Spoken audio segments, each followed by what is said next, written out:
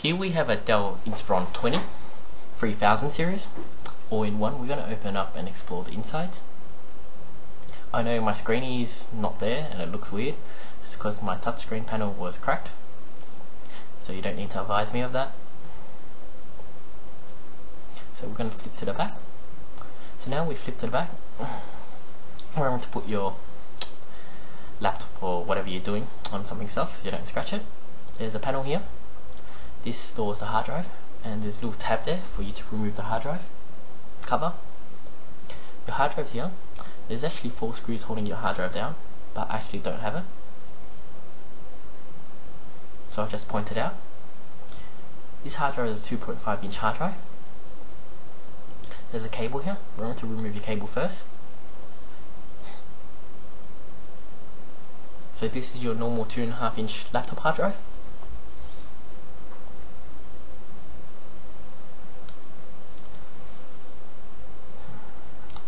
So next we're going to need to remove four screws holding the back cover down. I've already removed my four screws. You need to get your prying tool to pry open the back cover.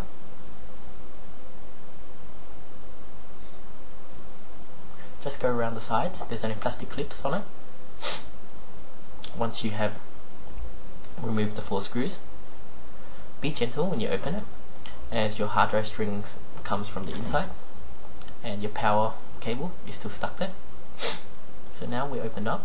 Here you go. This is the hard drive cable from the outside. Remember to slot it through the hole. There's a hole already there for you. Here is the power cable. It's where your power board is your power volume control and whatever it is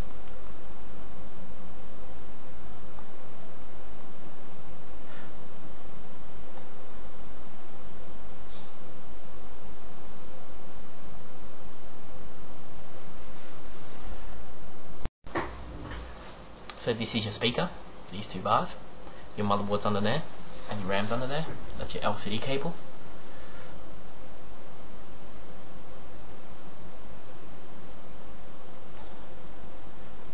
This is your wireless card. There's one screw holding your wireless card down.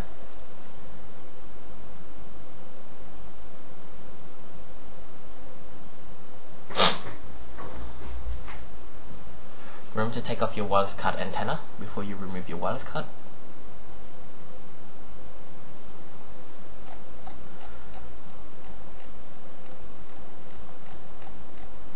So after you remove your screw, your wireless card pops off and you just drag it out. Next we're going to remove the motherboard. There's a few strings we have to remove. So I'm just pointing out all of them. This one here is your hard drive connector, the one that connects to your motherboard. The black things are actually sticky tape holding it down. So this cable here is your backlight cable, controls the backlight of your LCD screen.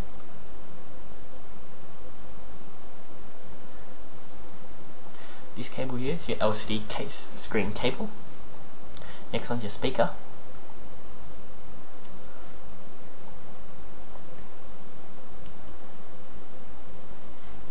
there's a ribbon cable here. This black thing is actually sticky tape. And there's three screws holding the cover down from the other side. So that's your second screw, third screw.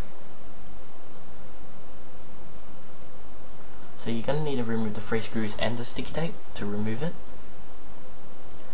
If you want to reuse your sticky tape make sure you leave it somewhere clean so you don't get hair or dust over it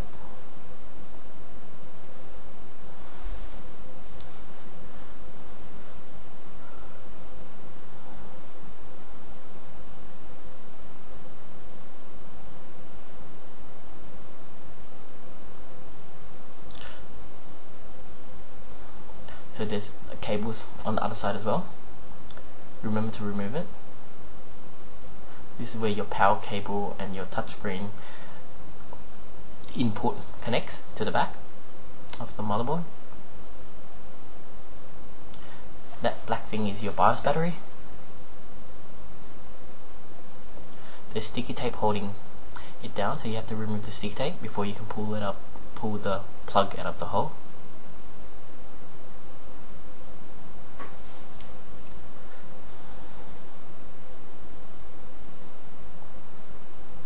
there's six screws holding the motherboard down on this metal cover.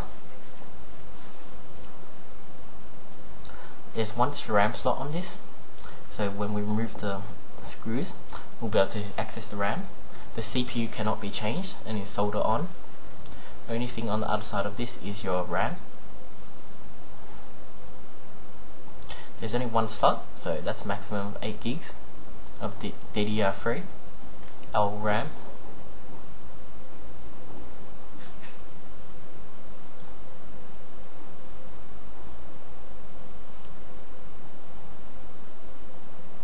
There's the BIOS variable again.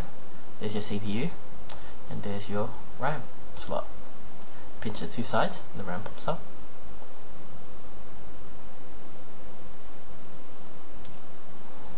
So just to show you here just focusing the camera.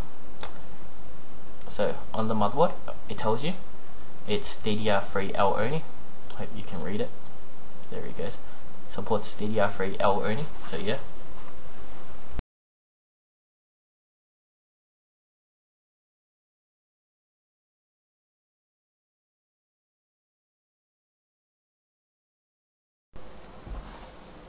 So now that I've screwed everything in, we're now going to remove the speakers. Okay, there's three screws holding the speakers on the left hand side. And the right hand side, there's two screws holding the speaker there.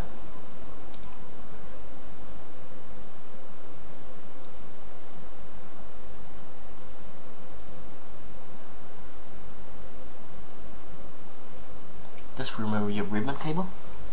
There's double-sided adhesive on it.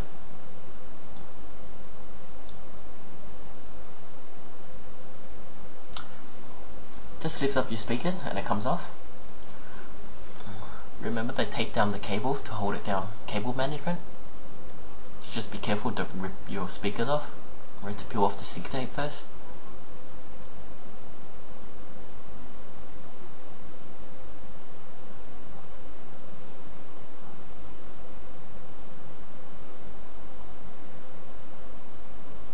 So next we're going to remove this. This is your touchscreen input input. It connects your touchscreen to your the touchscreen board to the motherboard. So this silver thing is just sticky tape as well.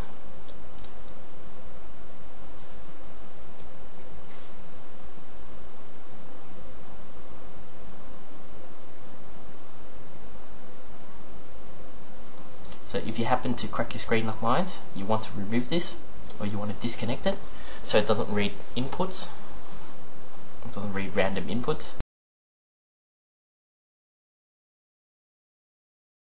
I'm just removing the cables that attach to the sticky tape. Some of the cables are attached to it. And remember to put someplace clean so you can reuse it. So here's our touch controller. That's about it. Thanks for watching. This disassembly is relatively pretty pointless the only reason why you should need to open up is change the RAM but with the processor that it comes with changing the RAM wouldn't make a big difference and wouldn't improve performance at all. Even putting an SSD inside it would not be a good idea as the processor is too slow to handle it. Thanks for watching